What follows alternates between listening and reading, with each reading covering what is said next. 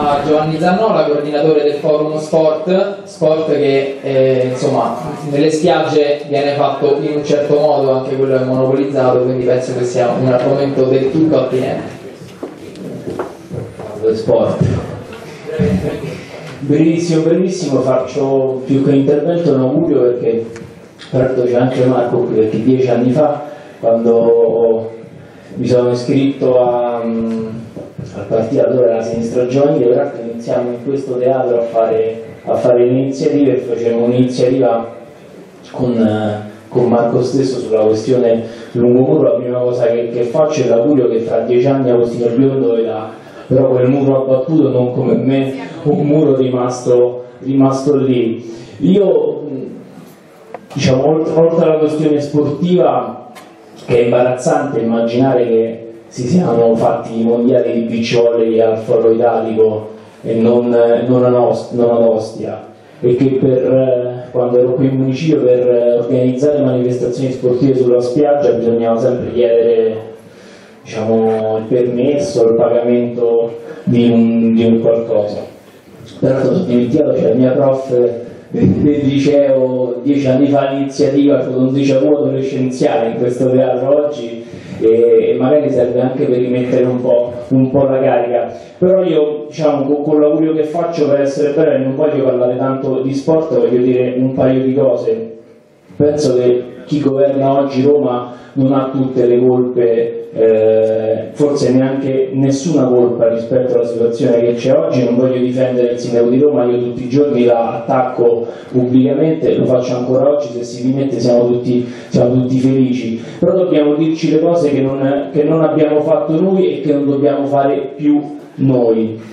E le voglio dire apertamente e con serenità perché mentre diciamo, una parte del Partito Democratico, de, degli allora democratici di sinistra facevano una battaglia, provavano ad ascoltare la battaglia che l'associazione che è intervenuta prima ha sempre fatto, da Spronel alla politica. C'era chi magari non accettava il contributo dei balneari per la propria campagna elettorale e chi dei balneari si faceva offrire le cene, questo era un problema, questo è stato il problema in questi anni e io non, non, condanno, non facciamo i magistrati, non possiamo decidere se siano mafiosi o non mafiosi, questo lo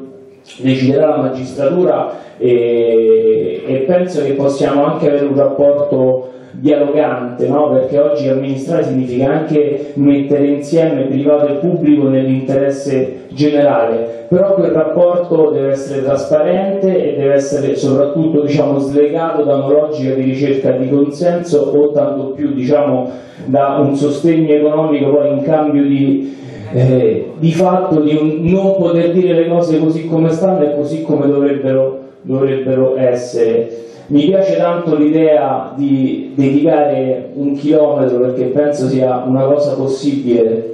sono un po' più pragmatico rispetto a dieci anni fa, spero che Agostino non lo sia quanto me, e perché penso davvero che potremmo regalare a Roma e mh, trasformare diciamo, Ostia, il decimo municipio, nell'affaccio eh, di Roma sul Mediterraneo, perché è importantissima, noi decidemmo un paio di anni fa di chiamare Ostia questo municipio Roma Mediterranea. Ci piaceva l'idea che il mare potesse essere un luogo di accoglienza, potesse caratterizzare la nostra, la nostra città no? per la bellezza che ha e proprio regalare questa bellezza non solo ai cittadini di Roma ma ai cittadini di tutta Europa. E la cosa più, diciamo, che più è, la renderebbe tale è quella di aprire diciamo, appena arrivi dalla via del mare, fare quel chilometro in cui non, non, non ci siano più strutture, mu, muri, muretti, abitazioni e quanto, e quanto altro. L'ultima cosa che dico, perché io Sabella ho stimato tantissimo il lavoro che ha fatto Sabella e sono contento che